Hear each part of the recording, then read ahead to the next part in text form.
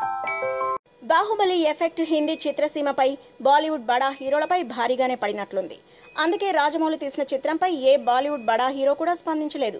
వెయ్యి కోట్ల ఘనత సాధించుకున్న ఒకే ఒక కారణంతో పోడి పోడి మాటలు అన్నారే తప్ప మనస్ఫూర్తిగా సినిమాను కొనియాడినట్టు ఎక్కడా కనిపించలేదు. నిన్నటికి నిన్న ఏఆర్ రెహమాన్ వీఆర్కు బాహుబలి సూట్ అవ్వదని తేల్చేశాడు కూడా.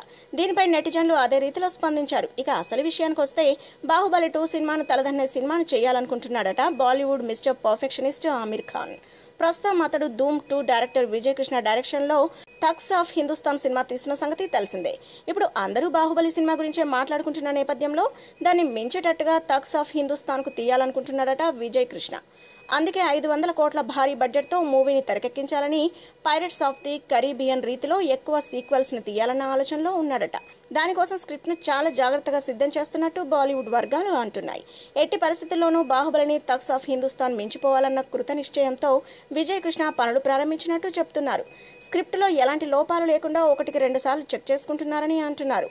బాహుబలి హిస్టరీని చెరిపేసి తక్స్ ఆఫ్ హిందుస్థాన్తో సరికొత్త చరిత్రను లిఖించాలని విజయ్ కృష్ణ అండ్ టీం పనిచేస్తుందని బాలీవుడ్ వర్గాలు అంటున్నాయి మరి బాహుబలి రికార్డులను తక్స్ ఆఫ్ హిందుస్థాన్ బ్రేక్ చేస్తుందో లేదో తెలియదు కానీ బాలీవుడ్కి బాహుబలి నిద్ర పట్టకుండా చేస్తుందన్నది మాత్రం నిజమేనని రుజువైంది if you like the video please like us and subscribe Tollywood Nagar.